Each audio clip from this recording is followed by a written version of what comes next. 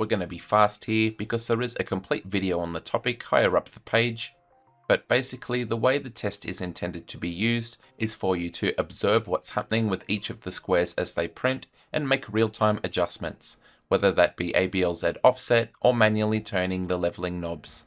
Your reference are these diagrams at the bottom of the page, the first showing the theory of what we're looking for, and the second diagram being actual images, and I recommend opening this in a new tab and zooming in so you can see sufficient detail. So one more real life example. Ignore the lower left, that's where I didn't have filament primed before the print started, but if we inspect the other squares, we can see they're a little bit too close. Each line of extrusion is running into the one next to it, and that causes these little lumps in between that we can feel quite clearly with our fingernail.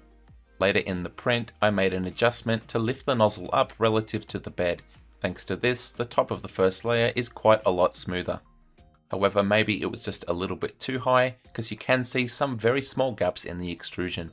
Probably the best way to confirm this is to peel off the square and then bend it.